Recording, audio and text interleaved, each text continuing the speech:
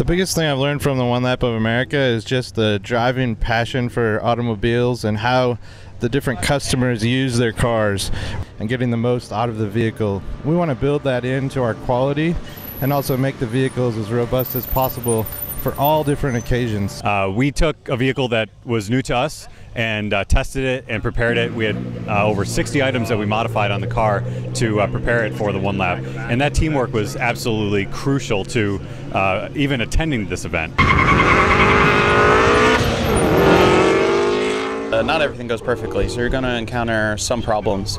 And how you encounter them how, and uh, how you solve them, how you deal with them, is a big part of the Toyota way. So that's a big part of what we can take away from this event and bring back into our job is even if the problems are not the same, the methods and the techniques that we apply here are the same as in our normal job.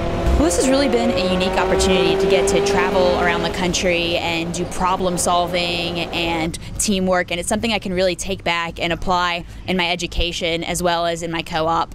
Motorsports is a really good proving ground to test out new technologies and new innovations in the automotive segment.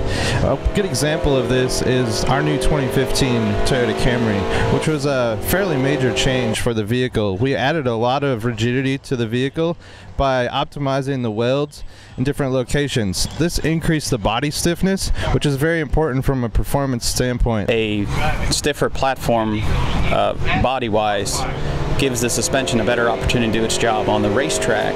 That allows us to perform better, but on the street it allows you to have a better ride and still have good handling. Through racing, I've gained familiarity with equipment like action cameras and data acquisition systems. And this knowledge has allowed me to specify and, and, procure equipment that's used in our North American test facilities to guarantee the quality of the Toyota products that are built here.